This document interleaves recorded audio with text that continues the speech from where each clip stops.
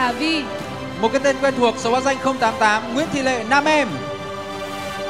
Thí sinh Nguyễn Thục Ngân số báo danh 256.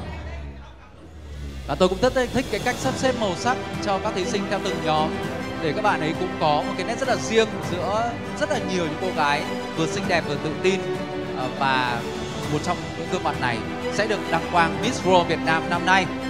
Tí nữa thì ờ, có lẽ là Phương Nga nếu có thời gian thì chia sẻ một vài những cái tips, cái ờ, bí quyết nào đó để có thể là thêm phần tự tin đúng không nào? Dạ vâng, còn bây giờ thì chúng ta xin được chào đón nhóm thí sinh tiếp theo, thí sinh Nguyễn